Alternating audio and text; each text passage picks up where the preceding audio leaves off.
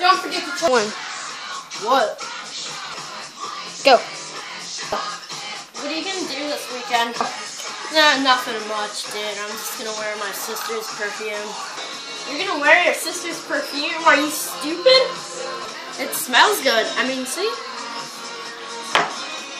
Okay. Five, four, three. This smells good.